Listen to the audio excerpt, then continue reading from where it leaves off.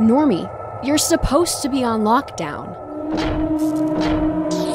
Vanessa, there's 104 days of summer vacation.